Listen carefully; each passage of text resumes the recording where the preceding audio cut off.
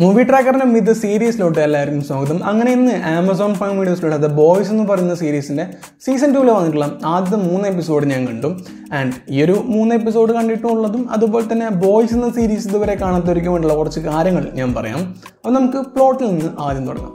Plot എന്ന് പറയുന്നത് ഇതുവരെ നമ്മൾ കണ്ടിട്ടുള്ള സൂപ്പർ ഹീറോ സീരീസുകളിൽ നിന്നോ അല്ലെങ്കിൽ ഫിലിംസിൽ നിന്നോ കോമിക്സിൽ നിന്നൊക്കെ വളരെയധികം ഡിഫറെന്റ് ആയിട്ട് നിൽക്കുന്നൊരു സീരീസാണ് ദ ബോയ്സ് എന്ന് പറയുന്ന സീരീസ് കാരണം അത്രയും ഡിഫറെന്റ് സ്റ്റോറിയും ഭയങ്കര വെറൈറ്റി ആയിട്ട് വന്നിട്ടുള്ളൊരു സീരീസാണ് ദി ബോയ്സ് എന്ന് പറയുന്ന സീരീസ് സോ നമുക്ക് പോസിറ്റീവ്സും നെഗറ്റീവ്സും വേണമെന്ന് പറയാം. അതാദ്യത്തെ ഒരു കാര്യം എന്ന് പറഞ്ഞാൽ ഇതിന്റെ തീമാണ് തീം എന്ന് പറയുന്നത് ഞാൻ ഇപ്പോൾ പറഞ്ഞ പോലെ വളരെയധികം ഡിഫറെന്റ് ആണ്. കാരണം നമുക്ക് സൂപ്പർ ഹീറോ എന്ന് പറയുമ്പോൾ കുറച്ച് വ്യൂ പോയിന്റും കാര്യങ്ങളൊക്കെ ആണല്ലോ അതായത് നമ്മൾ ഇതുവരെ കേട്ട ഒറിജിൻ സ്റ്റോറികളിൽ നിന്നൊക്കെ വളരെയധികം ഡിഫറെന്റ് ആണ് ഈ ഒരു സീരീസ് കാരണം നമ്മൾ കാര്യമായിട്ട് എപ്പോഴും ഒരു സൂപ്പർ ഹീറോനെ കുറിച്ചിട്ട് ചിന്തിക്കുന്ന പലവിധ രീതിയിലുള്ള കാര്യങ്ങളൊക്കെ അത്രയും ഡയറക്റ്റ് വെർട്ടിക്കൽ ടൈപ്പിലോട്ട് ഈ ഒരു സീരീസിൽ കൊണ്ടുപോയി. രണ്ടാമത്തെ കാര്യം ഈ ഒരു സീരീസ് എന്ന് പറയുന്നത് നൈസായിട്ടൊരു സ്പൂഫ് സീരീസാണ് അങ്ങനെ തന്നെ പറയണം. ആൻഡ് ഈ ഒരു സീരീസ് എന്ന് പറയുന്നത് ഡി സിനെ മാർവലിനൊക്കെ നല്ല രീതിയിൽ തേച്ചൊട്ടിക്കുന്ന ഒരു സീരീസാണ് ഇത് മറ്റൊരു കമ്പനിയുടെ ഒരു സീരീസ് ആയിരുന്നു. പിന്നെ ഡി സി ഇതിനെ വാങ്ങിച്ചതാണ്. എന്നാൽ പോലും ജസ്റ്റിസ് ലീഗിനെയൊക്കെ നല്ല രീതിയിൽ തേച്ചൊട്ടിച്ച പോലെ ഈ ഒരു സീരീസ് കണ്ടപ്പോൾ എനിക്ക് തോന്നിയിട്ടുണ്ടായിരുന്നു. കാരണം നമ്മുടെ സൂപ്പർമാൻ ഫ്ലാഷ് വണ്ടർ വുമൻ എല്ലാവർക്കും ഇട്ട് കൊട്ടിയിട്ടുണ്ട്. ആ അക്യൂമാൻ കൂട്ട് കൊട്ടിയിട്ടൊക്കെ ഉണ്ട്.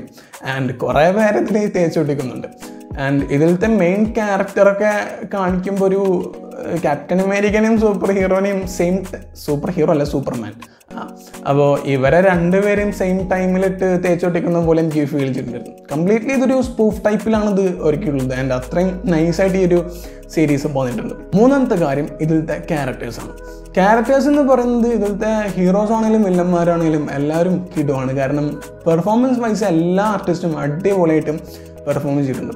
കാരണം അത്രയും പേസിലോട്ട് കൊണ്ടുപോകാനുള്ള ക്യാരക്ടേഴ്സൊക്കെ അവർ ചെയ്തിട്ടുണ്ട്. അത്ര അടിപൊളി ക്യാരക്ടേഴ്സാണ് ഈ ഒരു സീരീസിലുള്ളത് ആൻഡ് നമ്മൾ കണ്ടുകൊണ്ടിരിക്കുമ്പോൾ നമുക്ക് നല്ല രീതിയിൽ ഇഷ്ടപ്പെടും. കാരണം അതിപ്പോൾ വില്ലന്മാരായാലും ഹീറോസ് ആണെങ്കിലും എല്ലാവരും കിടുവാണ്. ആൻഡ് ടോട്ടലി അതൊരു സംഭവമായിട്ടുള്ളൊരു കാര്യമാണ്.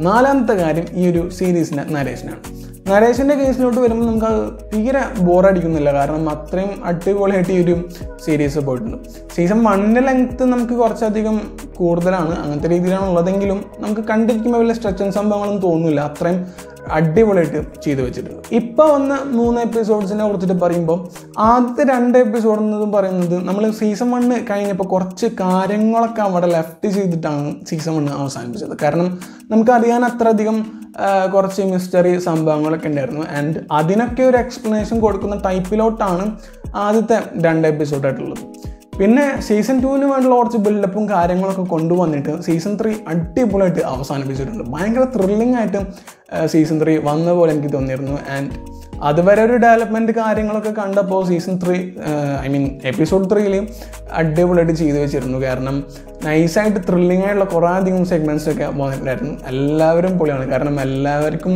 അത്രയും നൈസായിട്ട് പെർഫോമൻസ് ചെയ്യാനുള്ളൊരു സ്പേസ് എപ്പിസോഡ് ത്രീയിൽ കൊടുത്തിട്ടുണ്ടായിരുന്നു. ആൻഡ് നന്നായിട്ട് പലരും സ്കോർ ചെയ്യുന്നുണ്ടായിരുന്നു ഈ ഒരു സീരീസിലും ആൻഡ് ഈ ഒരു സീരീസിന്റെ നെഗറ്റീവ്സിനെ കുറിച്ചിട്ട് പറയുമ്പോൾ അങ്ങനെ കാര്യമായിട്ട് പറയാൻ ആണെന്നും തോന്നിയില്ല സീസൺ വണ്ണിനെ കുറിച്ചിട്ട് പറയുമ്പോൾ അഡൽറ്റീവ് ടൈപ്പിലുള്ള കണ്ടൻസ് ഒക്കെ കുറച്ചധികം കൂടുതലായിരുന്നു. ഓവറായിട്ട് എനിക്ക് ഫീൽ ചെയ്തിട്ടുണ്ടായിരുന്നു.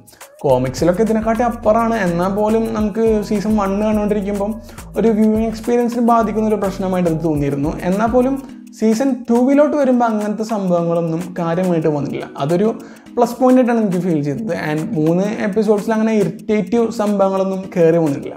ആൻഡ് അതുകൊണ്ട് തന്നെ ഈ ഒരു സീസൺ ടൂവിൽ വന്നിട്ടുള്ള മൂന്ന് എപ്പിസോഡ്സും നൈസായിട്ട് എനിക്ക് തോന്നിയിട്ടുണ്ടായിരുന്നു. പിന്നീടുള്ളൊരു പ്രശ്നം എന്ന് പറയുന്നത് നമ്മളിപ്പോൾ ഞാൻ എന്റെ ഒരു കേസ് പറയാണ്. ഇപ്പം ഞാനൊരു സീരീസ് കാണുമ്പോൾ ഒറ്റയടിക്കാണ് ഇരുന്ന് കാണാറുള്ളത് എല്ലാ എപ്പിസോഡും അപ്പോൾ ഈ ഒരു സീസണിന്റെ ബാക്കിയുള്ള എപ്പിസോഡ്സൊക്കെ പിന്നീടാണ് വരുന്നത് എന്നറിയുമ്പോൾ അതൊരു സീനാണ് കാരണം നമുക്കൊരു കണ്ടിന്യൂറ്റിയുടെ ഒരു പ്രശ്നവും കാര്യങ്ങളൊക്കെ ഉണ്ടാവും. കാരണം അടുത്ത അഞ്ച് എപ്പിസോഡ്സ് ഇനി വരാൻ മുപ്പത്തഞ്ച് ദിവസമൊക്കെ പിടിക്കും. ആൻഡ് അതൊരു ഇറിറ്റേറ്റീവ് സംഭവങ്ങളാണ്. അപ്പോൾ അതൊക്കെ വന്നു കഴിഞ്ഞതിന് ശേഷം ബോയ്സ് സീസൺ ടു ഒന്നും കൂടിയും കണ്ടിട്ട് നമുക്കൊരു ഡീറ്റെയിൽ റിവ്യൂ ഇടാം. അപ്പോൾ ശരി എന്നാൽ ബൈ ഗൈസ്